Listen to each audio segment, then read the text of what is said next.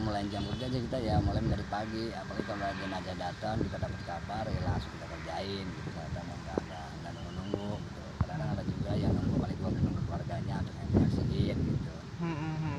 Kalau masalah pemakaman sih kita ya seperti ya kayak orang biasa gitu disolatin ya jangan bilang nggak nggak nggak mungkin disolatin di sini juga ada pak ustadz nyalatin gitu ada Tapi kerjanya sampai malam gitu pak. Kerjanya sampai malam sampai minimal jam 12 lah kadang-kadang lewat gitu tergantung kabar dari atasannya pak gitu nggak, nggak kalau aja kabar dari atasan jam 10 izinnya masuk ya kita tunggu di sini datang jam berapa bisa ada jam 2 satu ini paling jam 2 lah paling selesai juga rapi Itu dilakonin ya pak ya. ya dikerjain namanya Hmm. bertanggung jawab namanya kerjaan Hmm, hmm, hmm.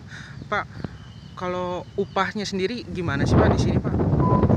Upahnya sih tadinya kita sebelumnya ada rundingan per hari eh, bukannya per hari sih lah dari bayaran suke sama bos atau apa pengelola sini.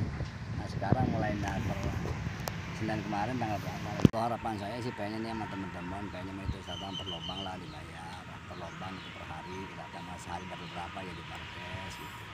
Masa kebutuhan kita juga kan banyak cuma kayak apa lagi orang kampung yang punya kondangan apa kadang-kadang ya apalagi penyakit begini orang juga tahu nih wah kerja di kuburan kadang para jauh gak deketin gimana gitu.